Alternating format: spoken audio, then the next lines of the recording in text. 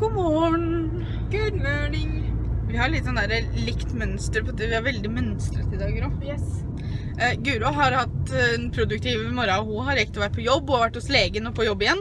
Så det er jo kjekt. Eh, nå skal jeg senke, senke bare kameraet litt, for nå kjører vi en rundkjøring, og det er så veldig mye biler nærme her, så det ser liksom så veldig ut som jeg filmer dem. Og det har jeg ikke så veldig lyst til at de skal tro. For det gjør jeg ikke. Jeg filmer oss. Eh, vi skal ut og se på stekeovn før jeg begynner på jobb. Um, yep, yep. bare for å få en liten idé om, om hva det er vi må Jeg eh, skal ikke synge her, da. Nei. Det er jo sånne Der- steiner, det. Der hadde du sagt trash. Så nå skal vi inn på Lefdal. Først og fremst. Det er 20% på alle aktivitetsmålere. Det er synd vi ikke skal ha en sånn. Hva er en aktivitetsmåler, er noe, sikkert sånn skritteller og sånn greier, kanskje. Ok. Ja, nei, det trenger vi jo ikke, da. Hvor er det de hadde 20% på det på? Lefton. Ja vel. Lefdal var jo her jeg og Guro kjøpte Mac-en, så um, We're back. We're back! Men vi bør jo på en måte um, Vi må jo ta oss og hva heter det, eh, sjekke og sammenligne litt priser. Ja, Det er vel det vi skal først og fremst. Vi skal ikke kjøpe noe i dag, vi skal bare sjekke priser. Ja.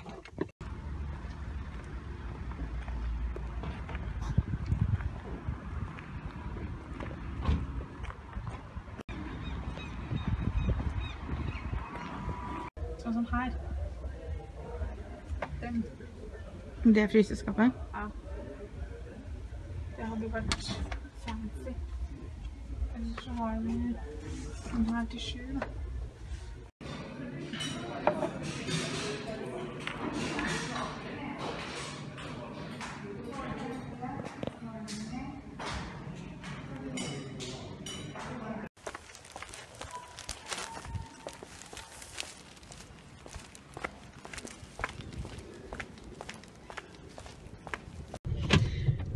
Klokka er ti på halv elleve, og vi er på vei ut på Nes.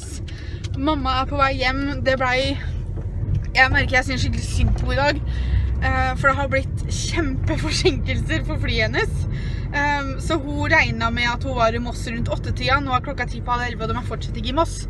Men jeg og Guro tenkte at vi skulle dra ut og overraske mamma eh, når hun kommer hjem, eh, og bare vente på hun der ute. Vi har kjøpt eh, inn litt mat til henne. Håper ikke mamma drar innom butikken sjøl, men da har hun litt ekstra. Ja.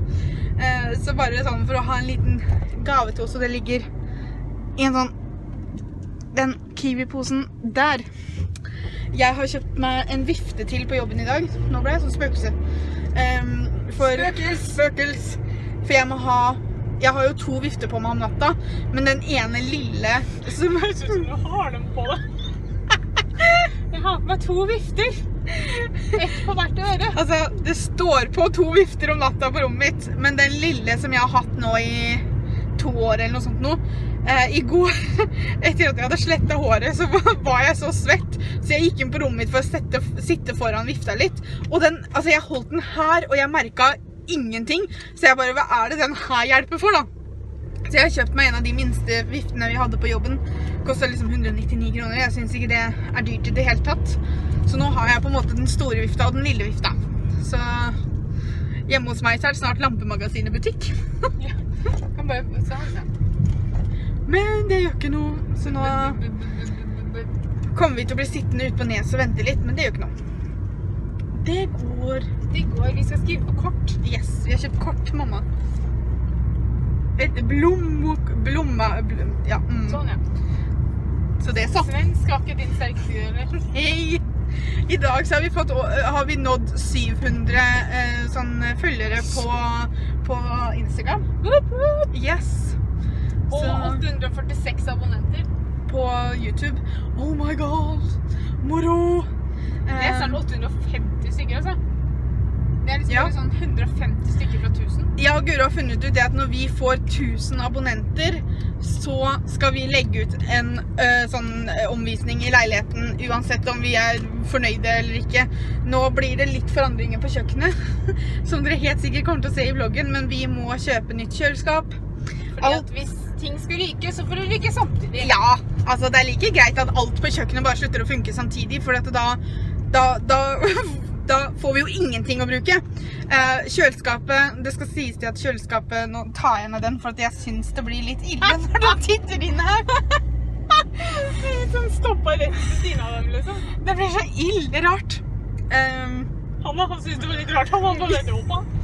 eh, hva snakka vi om? Jo, eh, kjøleskapet vårt har ikke ryket enda. Men det høres ut som den skal ta av og fly til Mars. Ja, og eh, tingen er at det er antageligvis ikke veldig lenge til det ryker, og Det er det er, gammelt, og det er ja, og det er mye bedre at jeg og Guro får kjøpt oss et nytt før det vi har blir ødelagt, for da kommer jo liksom all maten og frysevarene til å bli ødelagt òg. Så vi skal kjøpe vårs eh, et sånt sett med kjøleskap og fryser. Det blir to forskjellige eh, skap, men de er jo da samme merke og sånn. merke og, og sånne ting. Eh, så det her går hardt utover sparekontoen, for å si det sånn. Eh, men sånne ting skjer. Sånn er det å være voksen. Men Men eh, Ja, uffa meg. Dritt. Men sånn skjer. Men i hvert fall, så vi, skal, vi håper at vi skal få kjøpt fryseren i morgen. Um, og så vi skal kjøpe kjøleskap òg, men da må vi bestille det til butikken.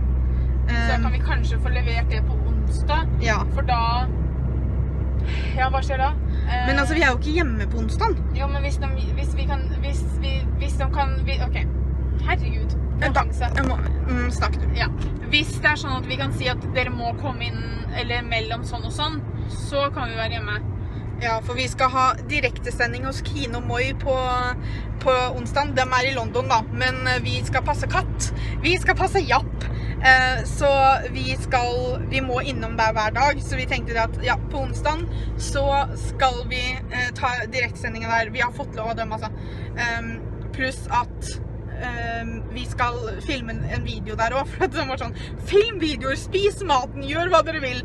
Så vi, vi, vi skal ikke spise så mye av maten deres, vi får jo ikke helt til å gjøre det, men vi skal filme en matlagingsvideo hos dem, eh, for vi låner stekeovnen. Vi, skal kjøpe, vi skal kjøpe oss ny stekeovn på Ikea, forresten. Men nå har vi skrevla i fem minutter, så nå kan vi like godt ta en liten pause, kan vi ikke det, da?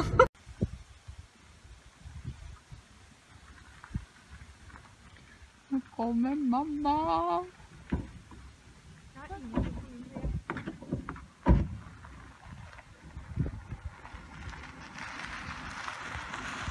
Jeg har ikke noe brun heller, da. Å nei, aldri. Kan du ta telefonen? Det kan jeg.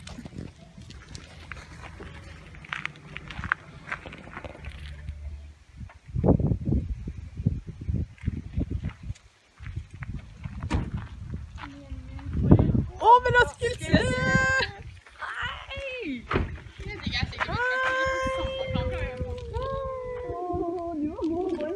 This is Svett, ja.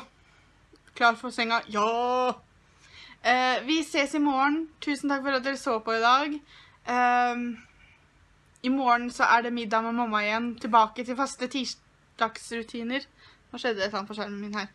Ehm, så vi Det eh, tar jo evigheter, det. Ja. det tar evigheter, men vi ses i morgen i hvert fall. Natta. Natta.